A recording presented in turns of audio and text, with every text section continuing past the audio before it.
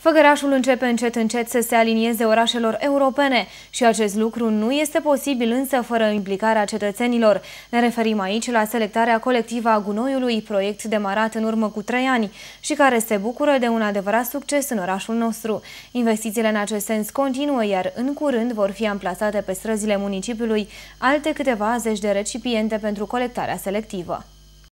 Alte câteva zeci de recipiente pentru colectarea selectivă a deșeurilor vor ajunge în curând pe străzile Făgărașului. În urma unei întâlniri ce a avut loc săptămâna trecută la Brașov, reprezentantul firmei de salubritate a reușit să achiziționeze pentru orașul nostru 45 de recipiente de culoare galbenă, verde și albastră. Astfel, în recipientul de culoare verde, oamenii vor putea arunca sticla, în cel albastru cartonul și hârtia, iar în cel galben peturile. Deja au fost stabilite 15 puncte unde vor fi distribuite aceste recipiente. În primul rând trebuie să vă spun că săptămâna trecută, de miercuri până vineri, a avut loc la uh, Hotel Aro din uh, Brașov o întâlnire a tuturor operatorilor de salubritate din România, uh, a primăriilor din, de asemenea din țară și a instituțiilor implicate în acest proces, respectiv Ministerul Mediului, Garda de Mediu și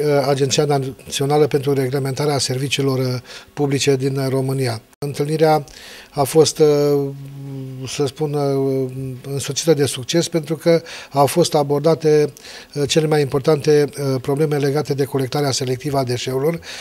Programul de colectare selectivă a demarat în Făgăraș în urmă cu trei ani. Atunci, mai multe recipiente pentru hârtie și carton, dar și peturi au fost distribuite oamenilor care locuiesc pe strada Doamna Stanca și cartierul Florilor. Noi am, pe surs, din surse proprii, Salcoserv a distribuit în Făgăraș încă de acum trei ani recipienți în, într-un program pilot în cartierul Florilor și pe Doamna Stanca iar pentru zona centrală acei recipienți tip clopot pe care îi vedeți și vreau să vă spun că uh, lumea e surprinzător de atentă uh, în colectarea uh, selectivă a deșeurilor, mai mult decât mă așteptam eu.